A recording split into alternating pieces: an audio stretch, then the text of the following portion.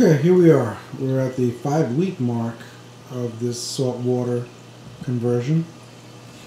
Um, lots to report this week. Um, I bought a little clownfish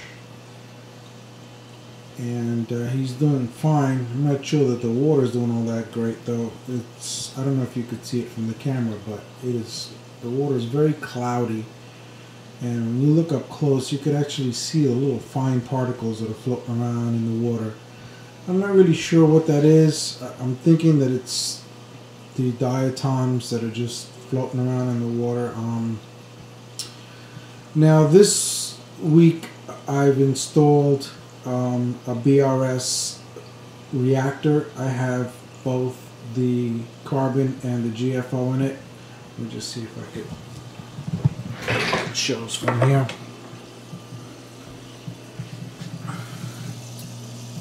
I have the carbon on the top and the GFO on the bottom. Um, been running it for a few days now. I get the deluxe which has the black top. Um, those tubes, those the black tubes that you see coming out there, they're really rigid and hard to bend and um, so what I did was I I went to Home Depot and I bought a couple. I bought a about ten feet of half inch inside diameter uh, regular tubing so that I can complete um, from the top into the tank and from the pump out to the bottom there.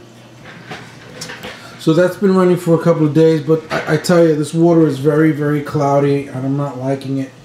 I'm so used to the pristine water that I have with the freshwater aquarium that um, I'm not liking this. It's been like this for about a week now, ever since I had the diatom bloom. Uh, it's not getting any better. I, I've done two water changes at about 5%. Um, I've changed the water to about that mark right there, which is about 5% of the tank. I've done that twice with RO water.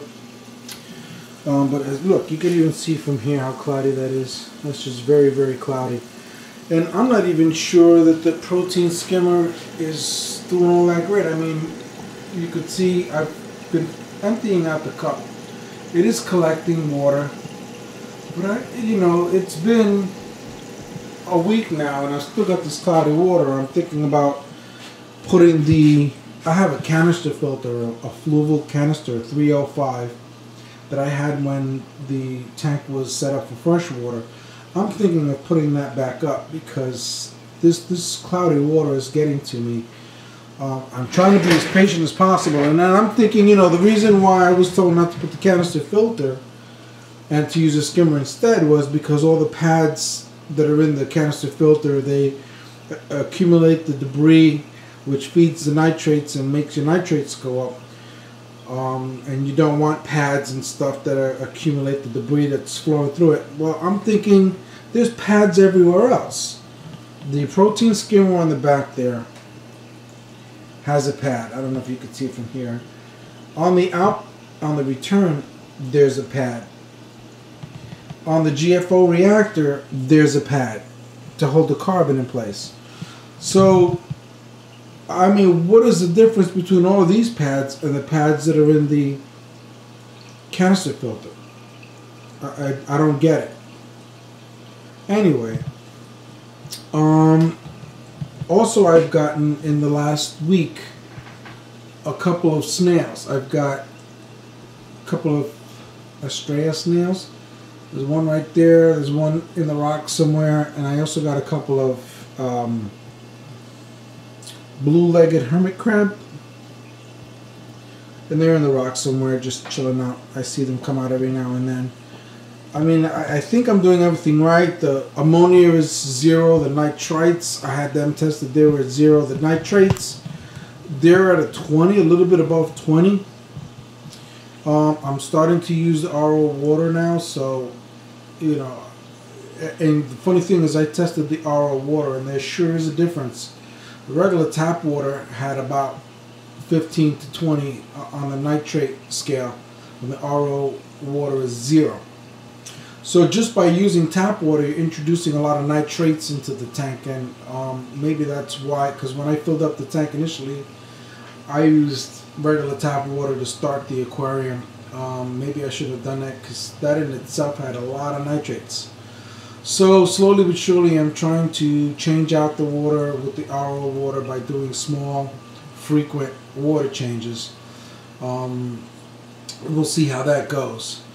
Uh, next month, my next uh, addition I think I want to do is to add a hang on the back refugium to the back there. I've been looking at the CPR Aquafuge, um, and I'm thinking of getting that and putting it on the back it's either going to be that or I'm going to put the canister filter back up because this cloudy water, if it stays for more than a couple more weeks, I'm just going to, I'm going to get a little uh, bummed out. But that is the update for week five of the saltwater aquarium 36 gallon bowfront. Here's my little fella. He seems to be doing all right. He eats. He's got a good appetite. He swims around. He's doing he's doing good. He's happy as far as I could tell. Um, I don't think I'm adding anything else to the tank until it, this situation with the cloudy water clears up. Um, and we'll take it from there. Anyway, that's it. Bye.